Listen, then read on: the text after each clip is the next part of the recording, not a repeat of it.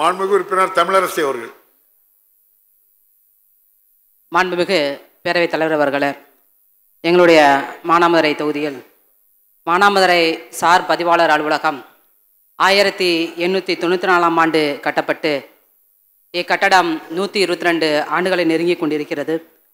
இக்கட்டடம் மிகவும் பழுதடைந்த நிலையில் உள்ளது. அது மட்டும் இல்லாமல் தரைமட்டத்திலிருந்து பத்தடி பள்ளத்தில் அந்த கட்டடம் இருக்கிறது. மழைக்காலங்களில் மக்கள் அங்கு சென்று செல்வதற்கோ இல்லை அலுவலக பணிகளை மேற்கொள்வதற்கோ அங்கே இயல முடியாத சூழ்நிலை இருக்கிறது. ஆனால் மாண்புமிகு அமைச்சர்கள் கருணையோடு மறுபரிசீலனை செய்ய வேண்டும் என்று கேட்டுக்கொள்கின்றேன். மாண்புமிகு அமைச்சர் அவர்கள்.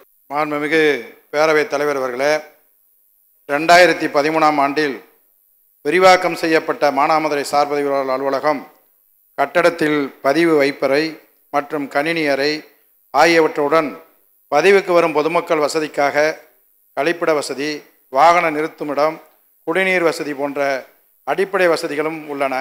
மேலும் பொதுமக்கள் அமர்வதற்கு இருக்கை வசதி மேற்கூரை செட் அலுவலகம் முன்பதிவு நடைபாதையில் சாய்வுதளம் போன்ற வசதிகளுடன் ரூபாய் அஞ்சு லட்சத்தி எண்பது எண்பதனாயிரம் மதிப்பீட்டில் கடந்த மாதம் மராமத்து பணிகள் மேற்கொள்ளப்பட்டு தற்போது நல்ல நிலையில் இயங்கி வருகிறது.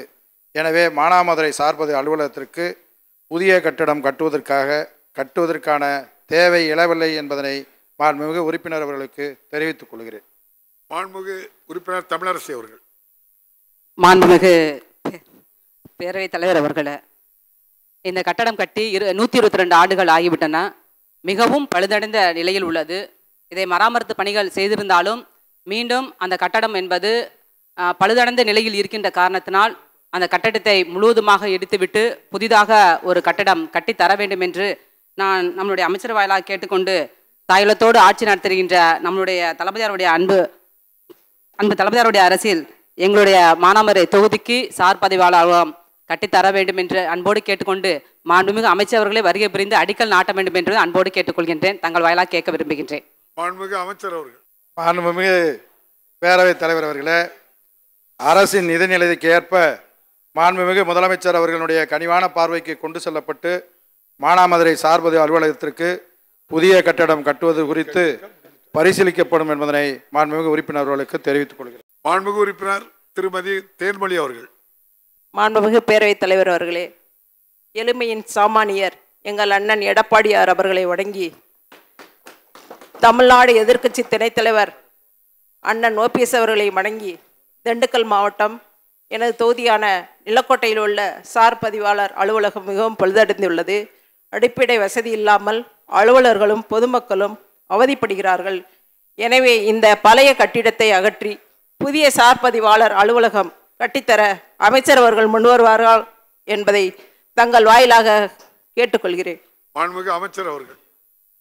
மாண்புமிகு பேரவைத் தலைவர் அவர்களே தமிழகத்தில் இருக்கக்கூடிய ஐநூற்றி எழுபத்தஞ்சு சார்பதிய அலுவலகத்தையும் இன்றைக்கு மறு ஆய்வு செய்யப்பட்டு கொண்டிருக்கிறது. ஏனென்று சொன்னால் ஒரு தாலுகாவில் இருக்கக்கூடிய பதிவு அலுவலகம் வேறு மாவட்டத்திலையும் மற்றொரு தா சார்ப தாலுகாவிலையும் இருக்கின்ற காரணத்தினால் அதையெல்லாம் ஒவ்வொரு மாவட்டத்திலையும் அந்தந்த தாலுகாவிலேயே சார்பதிவு அலுவலகத்தில் வருவ வருவ வருவதற்கான ஏற்பாடை செய்து கொண்டிருக்கிறோம். ஏனென்று சொன்னால் தவறுகள் நடக்காமல் இருப்பதற்கும் பதிவு செய்யப்பட்டவர்கள் உடனடியாக பட்டா மாறுதல் செய்வதற்கு வசதியாகவும் மாண்புமிகு முதலமைச்சர் அவர்களுடைய உத்தரவின் பேரில் தமிழகம் முழுவதும் இந்த பணி செய்து கொண்டிருக்கிறோம்.